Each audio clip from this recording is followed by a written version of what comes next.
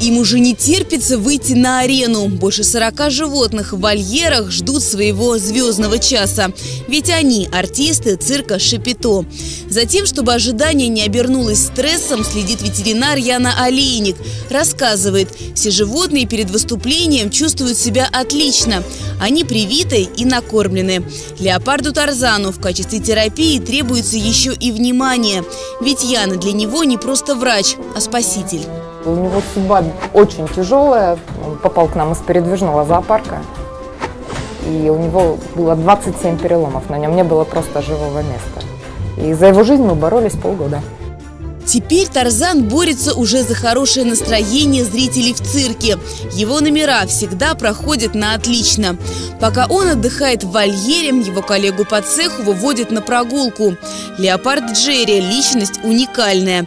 Директор цирка «Шапитом» Евгений Ким объясняет, именно с этим животным все желающие после выступления могут сфотографироваться и даже погладить хищника. Это индивидуальный код, э, таких ни у кого не было и нет пока.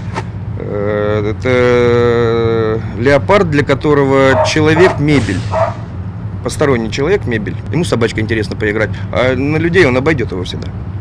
Обходить эти леопарды привыкли людей, но не препятствия. На арене цирка Шапито «Золотой дракон» готовы выполнить любой трюк. Ходить по крохотным ступеням, запрыгивать на тумбу. Ради аплодисментов эти животные даже прыгают в огонь.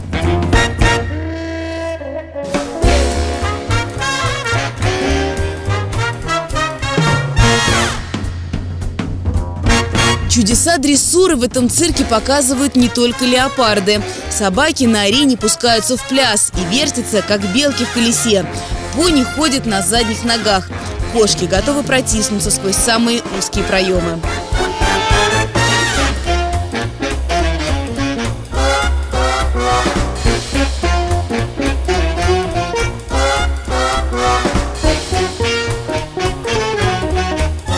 Есть ли предел человеческим возможностям? Ответить на этот вопрос в цирке Шапито «Золотой дракон» помогают уже профессиональные артисты. И доказывают, что можно не просто жонглировать, а делать это в танце. А прыгать через скакалку, даже сидя на одном колесе. Главный закон программы – никаких минорных нот, лишь положительные эмоции.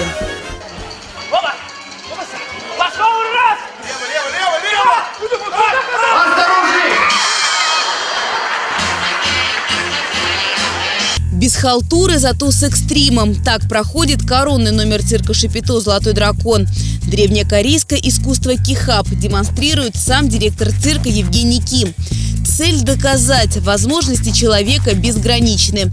Ему под силу пройти и по лезвию острого меча и выдержать вес двухтонного автомобиля.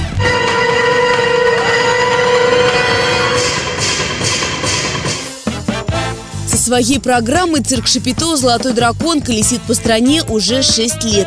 Мастерству его артистов аплодируют зрители от Калининграда до Владивостока. Здесь объясняют секрет в сильной программе. И на ее шлифовку уходит каждая минута свободного времени. Тупец! Сальто! Сальто! Плохо.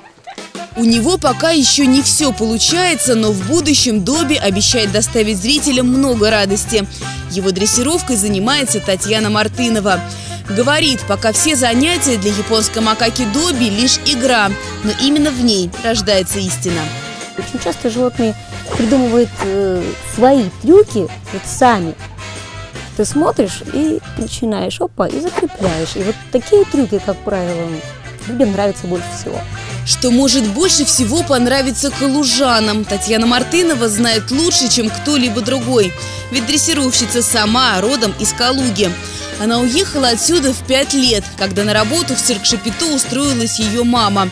С тех пор ее жизнь в постоянных гастролях. В цирке она освоила с десяток профессий. Здесь встретила мужа. Теперь он и артист, и директор цирка. Она же дрессировщица и исполнительница опасных трюков. Ты видишь этот результат, и уже ходишь с таким подъемом на эту репетицию, что все, мы все-таки добились, мы сделали это, то, что мы хотели. А когда выпускаешь, когда выпускаешь, ну это вообще, это такой кайф, ну, это не передать, когда выпускаешь новый трюк. Артисты цирка Шапито «Золотой дракон» сейчас отказываются и от работы за границей, и от выгодных мест в стационарных цирках. Говорят, Шапито – это не только самостоятельность. Только здесь зритель может по-настоящему почувствовать атмосферу цирка. Душу отдаем. Зритель это чувствует, и тем более э, в Шапито работать намного приятнее артисту, хорош, ну даже хорошему артисту намного приятнее, чем в стационаре. Пусть условия тяжелее, все там, но отдача зрителя э, происходит намного ярче и ближе.